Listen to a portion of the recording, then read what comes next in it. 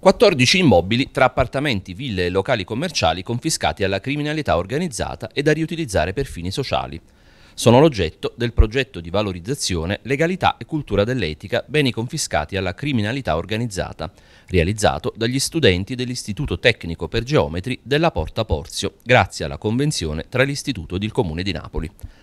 Bene, i ragazzi hanno lavorato moltissimo perché ci hanno creduto, ci hanno creduto fino in fondo anche perché è nostro compito già da diversi anni instillare in loro il concetto di legalità e quindi avere l'opportunità di poter operare eh, in maniera così fattiva, in maniera così concreta, ehm, lontana quindi dal, dal, dal, da ciò che viene teorizzato normalmente in classe, è stata per loro una grande esperienza. E sono molto emozionati eh, perché eh, hanno anche assistito eh, diciamo, a diversi interventi all'inizio dell'anno eh, portati avanti anche da giudici tutelari, giudici minorili, esperti proprio diciamo, di eh, beni confiscati alle, alla Camorra e quindi sono veramente preparati e ci hanno creduto fino in fondo. Dei progetti per la rivalutazione di questi beni che sono stati confiscati alla Camorra.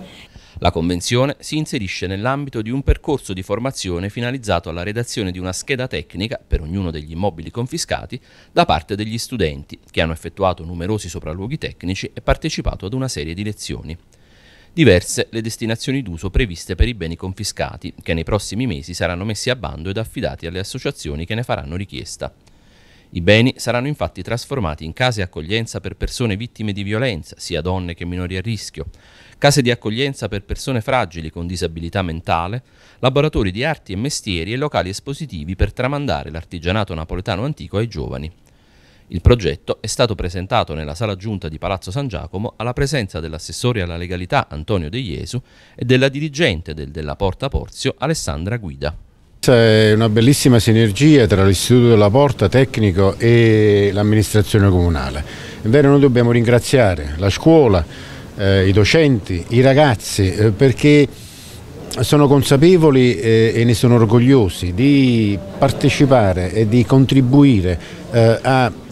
darci una mano nella gestione dei beni confiscati. Sapete che la dimensione dei beni confiscati è una dimensione importante, ha una grande valenza sociale, ma per gestire i beni confiscati abbiamo bisogno di procedure tecniche, di valutazione del, del singolo, fare un vero e proprio fascicolo del bene confiscato per poi valutare la destinazione d'uso per fini sociali. Eh, noi scontiamo, almeno fino all'ingresso dei nuovi dipendenti, un po' delle carenze tecniche, pochi tecnici eh, e molti sopralluoghi da fare. Per cui ho colto l'opportunità che eh, l'Istituto della Porto ci ha dato e che la norma, la disciplina sul eh, sul, sul, sulla collaborazione scuola-lavoro eh, ci consente, per cui abbiamo firmato una convenzione, i ragazzi eh, sono entusiasti, sono stati entusiasti di partecipare a un progetto che li vede protagonisti e l'amministrazione comunale eh, li ringrazia per questo grande contributo che ci hanno dato, hanno fatto un lavoro veramente eccellente con i loro docenti e siamo veramente onorati. E questo mh, progetto